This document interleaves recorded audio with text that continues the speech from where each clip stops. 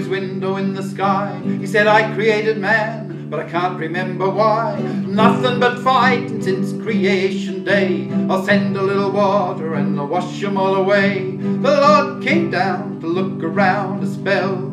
There's Mr. Noah behaving mighty well, and that is the reason that scriptures record that Noah found grace in the eyes of the Lord. Noah found grace in the eyes of the Lord.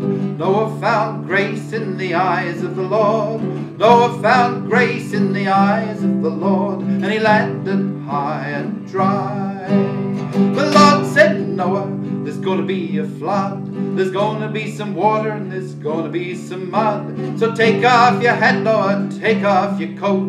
Get Ham, Shem, and Japheth and build yourself a boat. Noah said, Lord, I don't believe I could. The Lord said, Noah, get yourself some gopher wood. You never know what you can do till you try. Build a 50 cubits long and 30 cubits high.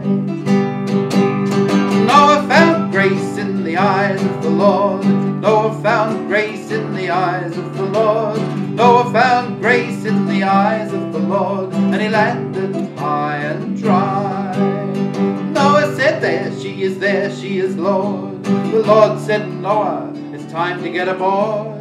Take of each creature a he and a she, and of course Mrs. Noah and your whole family. Lord, it's getting mighty dark. The Lord said, Noah, get those creatures on that ark. Noah said, Lord, it's beginning to pour. The Lord said, Noah, hurry up and shut the door. Noah found grace in the eyes of the Lord. Noah found grace in the eyes of the Lord. Noah found grace in the eyes of the Lord, and he landed high and dry. The ark up on the bosom of the deep. After forty days, Mr. Noah took a peep. He said, We're not moving, Lord, where are we at? And the Lord said, You're sitting right on Mount Ararat. Noah said, Lord, it's a getting mighty dry. The Lord said, Noah, see my rainbow in the sky.